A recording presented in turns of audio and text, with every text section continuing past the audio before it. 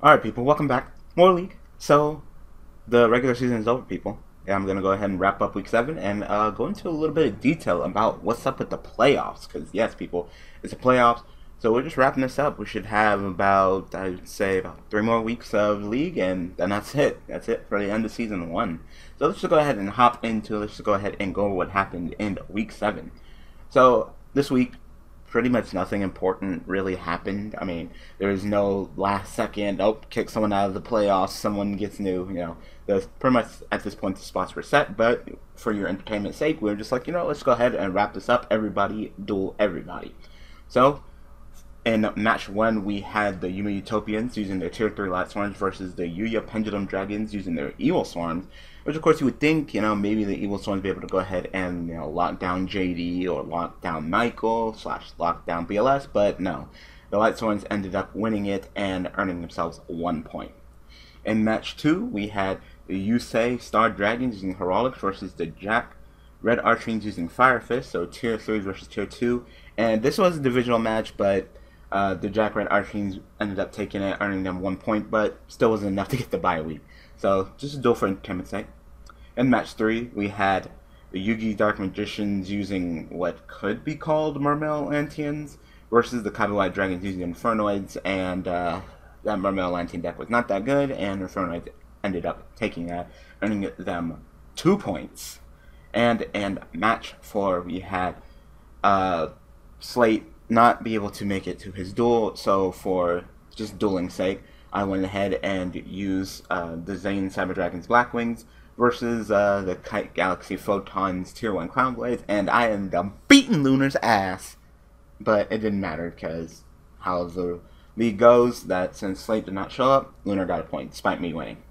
So, uh, yeah, that's how Week 4 went. So, just to round it out and state what the scores are when the end of week seven, at this point, scores don't really matter anymore. It is pretty much elimination at this point for the playoffs.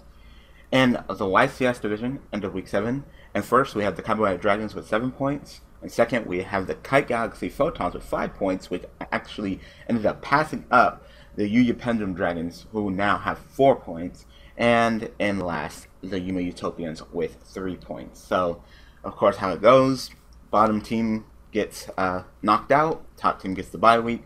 So sorry, you Utopians, you're out. So for the first week of the playoffs, we are going to see the Kite Galaxy Photons versus the Yuya Pendulum Dragons, and then the winner of that those two will of course duel the bye week the Kaiba White Dragons for the top of the division for the division champion. And in the regional division, we have in first the Yusei Star Dragons with eight points, in second the Jack Red Archfiends with 6 points, in third, the Zane Cyber Dragons with 3 points, and in last, the Yugi Magicians with no points. So, as stated before, the bottom team gets dropped, top team gets the bye week, so this week we'll be seeing the Jack Red Archfiends versus the Zane Cyber Dragons in the playoffs. Alright people, so you're probably wondering how the playoffs are going to work.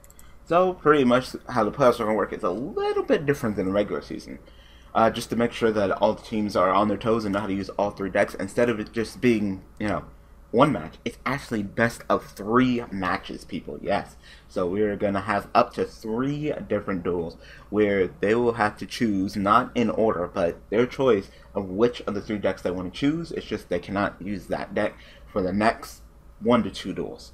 So in the YCS division, of course, we are going to have the U Pendulum Dragons versus the Kite Galaxy Photon, and winner will be moving on to face the Kaiba White Dragons for the division champion.